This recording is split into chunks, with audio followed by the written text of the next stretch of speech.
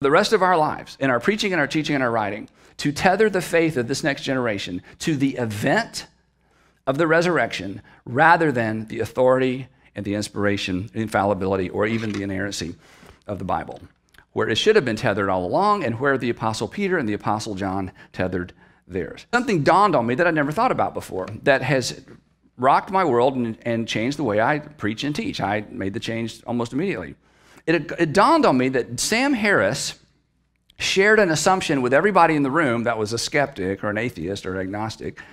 And the, and the assumption that he shared with them, he also shared with most Christians, although most Christians haven't thought about it, and the Christians in the room listening to him, and Christians everywhere.